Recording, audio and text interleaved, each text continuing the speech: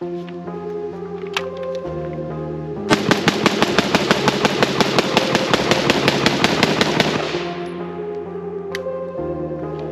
yeah,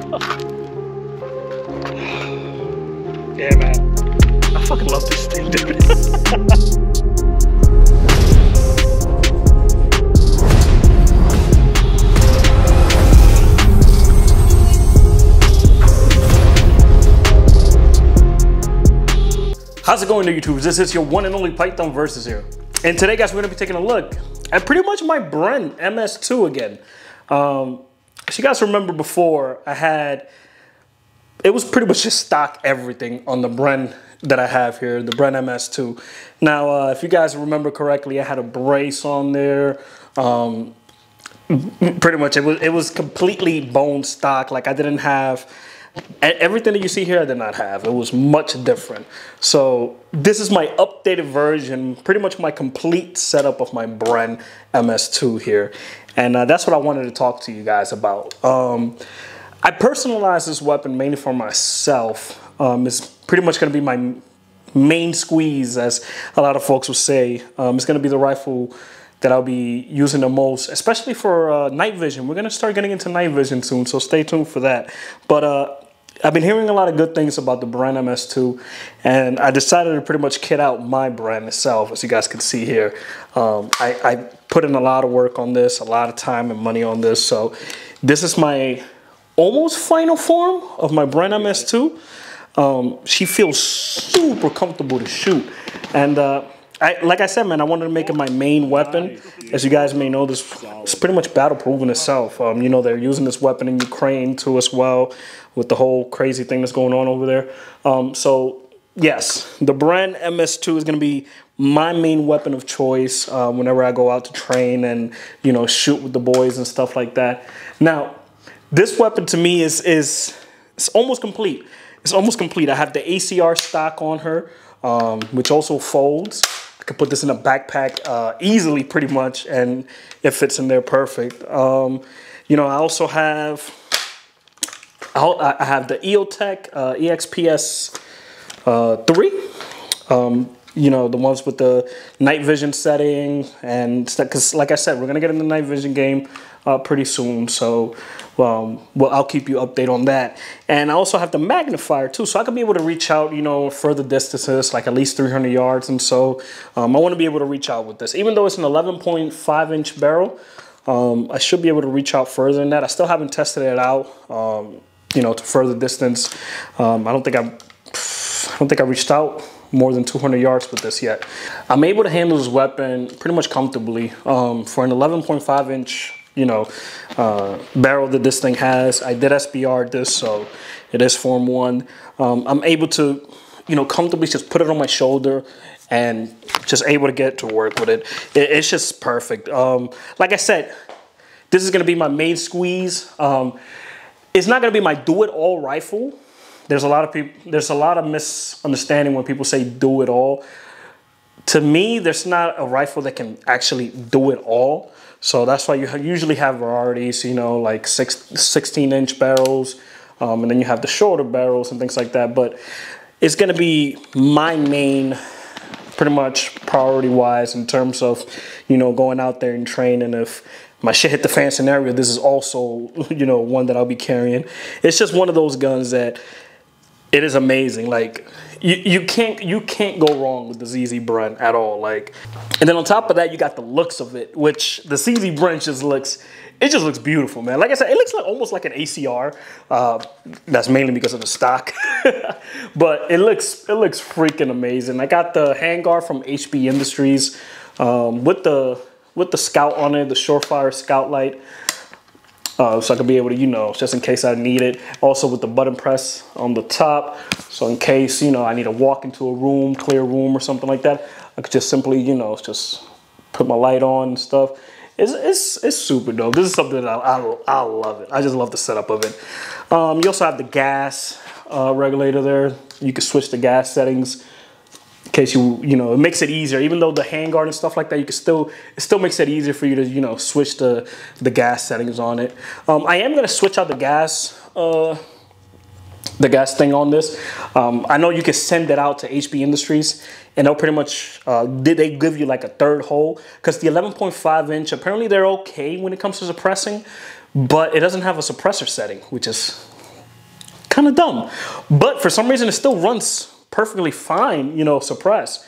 Um, but you know, just to be safe and stuff like that, I kind of do want that third hole on there. So I'm going to be sending it out to uh, HB Industries so they can be able to get that third setting in there for me.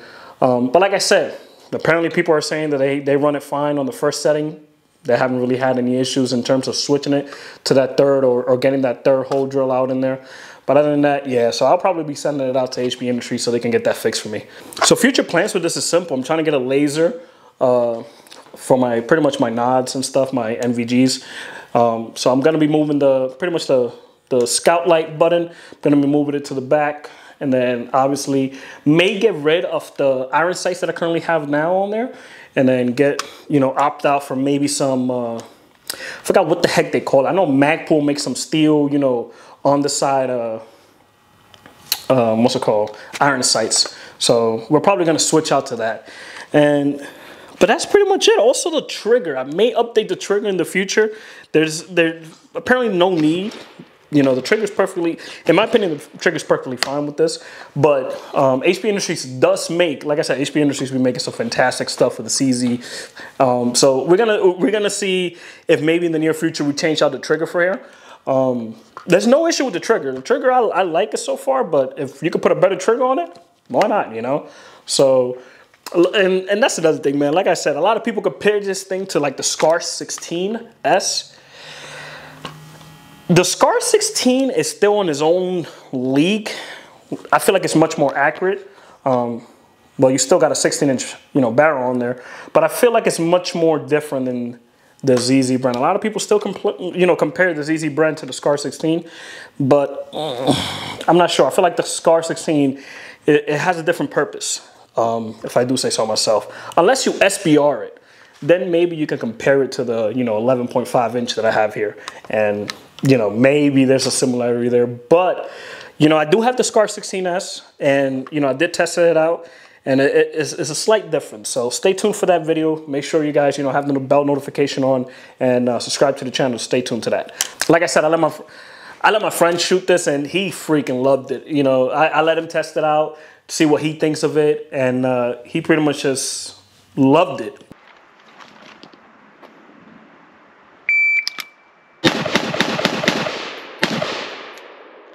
Nice.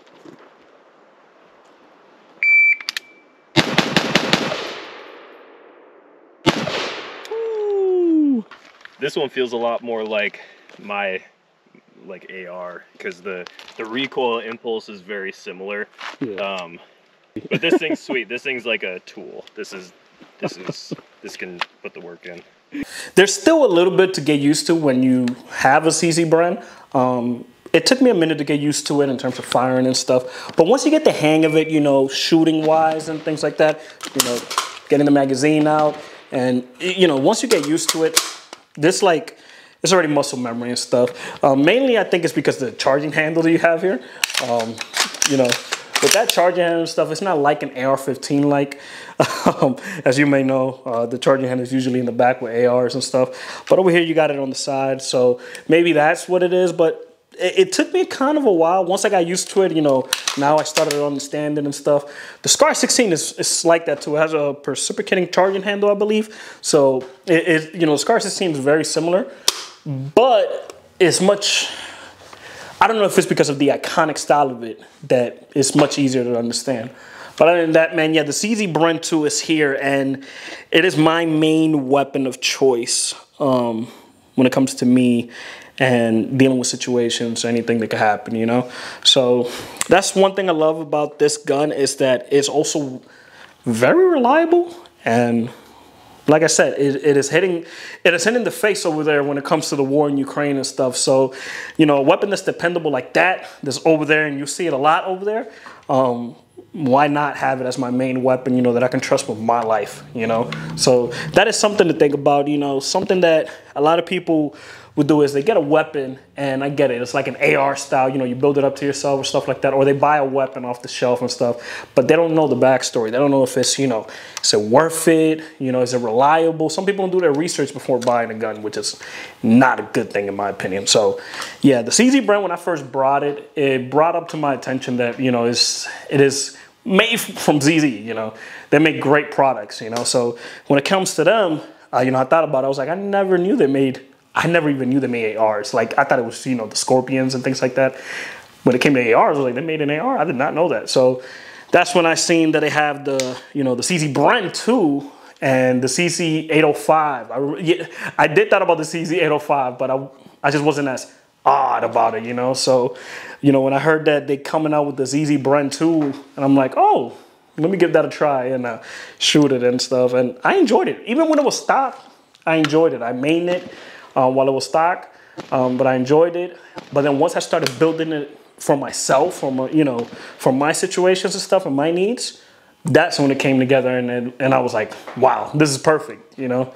So the CZ Bren 2 is amazing. I love it. Um, now that I finally got a chance to understand this weapon, how well it functions and stuff, this is my rifle. This is my main squeeze. So um, it's going to be sticking with me for a long time. Now, uh, stay tuned because like I said, I have a review coming up on the SCAR 16. And then after we do the review on the SCAR 16S, we're gonna do a comparison between the two, between the CZ Bren and the SCAR 16S. So stay tuned for that. Um, we're almost at a thousand subscribers, guys. So let's keep that pushing, all right? Um, the channel is doing well. We are on the road to almost getting completely monetized. We're we're half monetized, which I never understood. It's the new YouTube algorithm thing where, hey, you can be half monetized, and then once you completed the rest, you know, you'll be fully monetized. So so far we're half monetized. So let's see how things goes. You know, we're gonna keep growing, and. Uh, we're gonna continue this channel and see how far we can take it. So anyways, guys, this is Python Versus. Hope you guys enjoyed this video. Please leave a like and comment and share with a friend. You know, like I said, it helps the channel out and it helps me make these content for you. And uh, hopefully in the near future, this channel could take off and I could continue making things like this for you guys. So take it easy, guys. Be safe out there. Stay dangerous. I, I, can feel the blood creeping up from the heathens. Got will, got fight, got pride, got reason. If they wanna go eat, then you know I'm gon' feed them If you're coming for me, hope you're ready for a demon. I got eyes in the back of my head, I'm seeing